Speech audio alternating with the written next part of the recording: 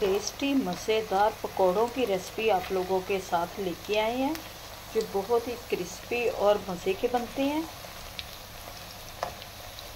और बहुत ही easy recipe है, खर्च, ज़्यादा पैसे खर्च नहीं होते। घर में साफ़ सुथरी ये रेसिपी तैयार करें। माशाल्लाह से ये दूध हमारे कितने ढेर सारे पकौड़े तैयार हो गए।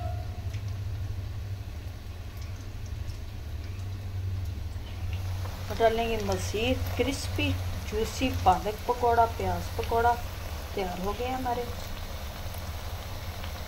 चलिए जी बनाए, बनाते हैं वीडियो को।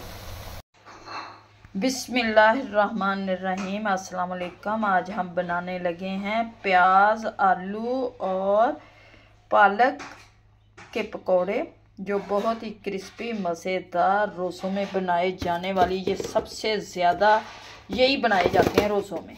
और कोई चीज़ इतनी नहीं बनती जितने पकोड़े बनते हैं। हर घर में। और ये डालूँगी सबसे पहले, इसमें मैं सूखा धनिया। वन स्पून डालूँगी इसमें मैं नमक। और वन स्पून ही डालूँगी इसमें मैं सुरख मिर्च, क्योंकि मिर्च हमने सब्ज़ मिर्च डाली है, और सुरख मिर्च मैं कम ही रखूँगी। ये सुरख मिर्च डाल दूँगी।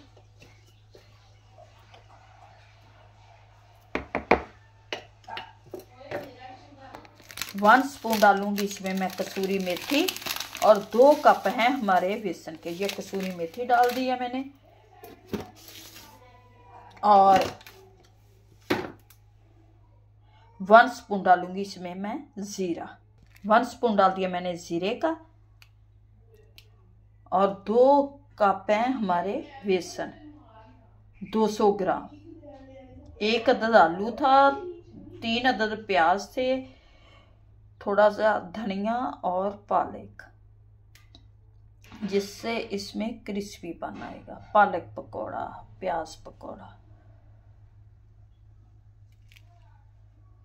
ये दो प्याली मैंने बेसन डाल दिया। अब ये ये डाले। अब डालूँगी इसमें आधा कप पानी। और इसे करते हैं हम मिक्स। ज़रूरत होगी तो पानी और डाल देंगे।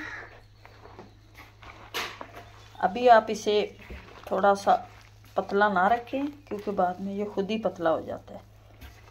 अभी थोड़ा सा पानी मैं और डालूँगी, क्योंकि अभी नहीं हो रहा। ये बेसन तो हमारा तैयार हो गया। अब करेंगे हम अपने घी को अच्छी तरह से गरम, और इसमें डालेंगे पकौड़े। बिल्कुल। फुल। तेल हमारा गरम हो चुका है। अब हम डालते हैं इसमें अपने पकौड़े। अच्छी तरह से चेक कर लेते हैं। मस्त फुल गरम है जी। अब डालते जाएँगे पकौड़े अपने।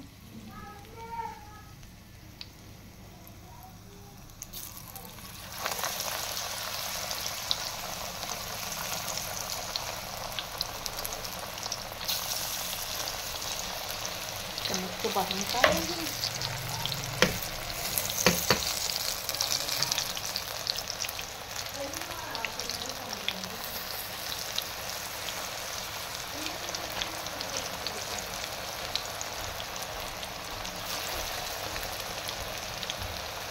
तेल हमारा फुल गर्म हो गया तो पकौड़े रखने की हिम्मत है इबादत करने की हिम्मत सादत दे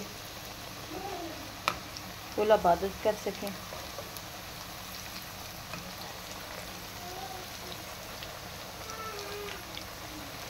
बुराइयों से दूर रहें।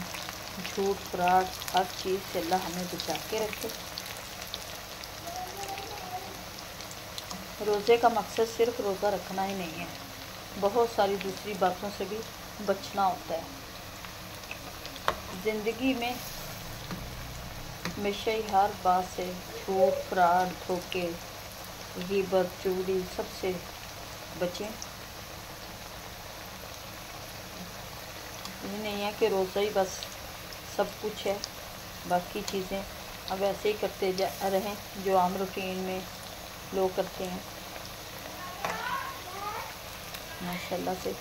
ये क्रिस्पी पकौड़े, क्योंकि इसमें मैंने वेजिटेबल ज़्यादा डाली हैं, प्याज, आलू और धनिया, पालक और बेसन कम डाला है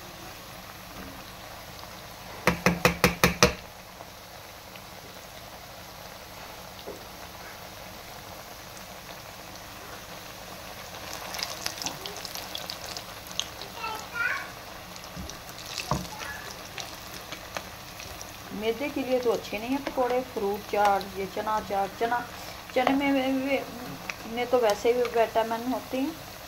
लेकिन फिर भी पकौड़े और ये बच्चे जो चिप्स वगैरह, ये बड़ा इंजॉय करते हैं। साथ बनाई है हमने इमली और पुदीने और दही की चटनी। माशाल्लाह से पकौड़े देखिए हमारे, कितने क्रिस्पी आलूओं को हमने लंबाई की साइज़ में काटा है। बहुत ही इससे क्रिस्पीपन आता है और बहुत ही मज़े के पकौड़े तैयार होते हैं। बिल्कुल हल्की अभी आग को मैंने तेज़ नहीं रखा। प्याज और और ये क्या, आलूओं को मैंने लंबाई वाली साइज़ से काटा है। इतना मज़े के ये पकोड़े हमारे बन रहे हैं कि मैं बता नहीं सकती आपको। घर में बनाए साफ़ सुथरी और मज़ेदार चीज़।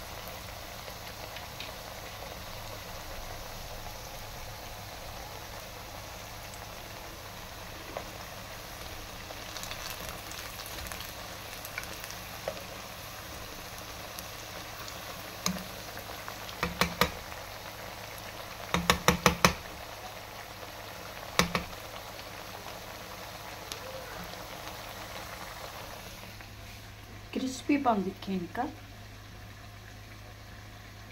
मैं निकालूँगी चम्मच मैंने छोटा ही लिया।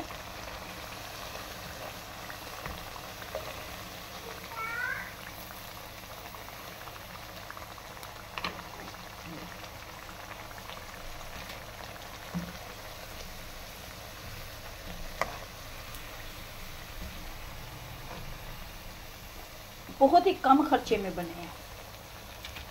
पचास रुपए का हमारा बेसन था, पचास रुपए की हमारी सब्ज़ी आ गई। और तो घी भी बहुत कम लगता है। 200 में ये पकोड़े तैयार हो जाएँगे। अगर हम बाज़ार से लेने जाएँ तो एक हज़ार से के ये हमें पकोड़े मिलेंगे। ये 200 के पकोड़े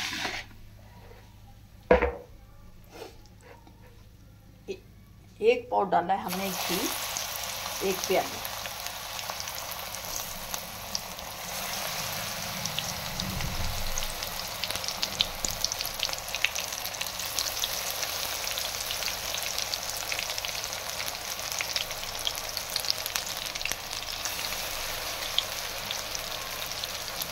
मुझे तो रोटे रखने का बहुत शौक़ और जुनून होता है।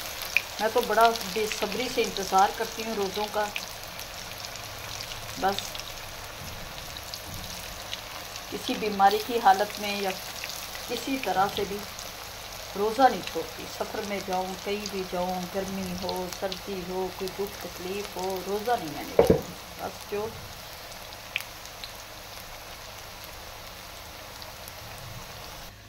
माशाल्लाह से पकोड़े बनकर हमारे तैयार हो चुके हैं, जो बहुत ही मज़े के क्रिस्पी बने हैं। उम्मीद है कि आप लोगों को भी ये हमारी रेसिपी अच्छी लगेगी। ये देखिए, कितने सॉफ्ट, अंदर से सॉफ्ट, बाहर से क्रिस्पी पकोड़ा तैयार हुआ है। उम्मीद है कि आप लोग हमारी इस रेसिपी को पूरा देखेंगे। अब दे हमें इजाज़त, मिलते हैं आपसे नेक्स्ट वीडियो में। प्लीज़ कमेंट्स में बता दिया करें कि आप लोगों को हमारी रेसिपीज़ कैसी लगती हैं।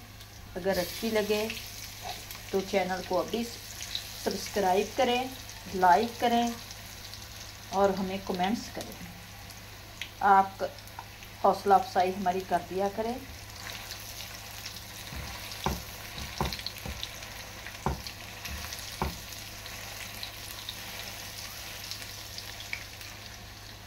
चले जी इन नेक्स्ट टाइम इससे भी अच्छी वीडियो लेके आएँगे।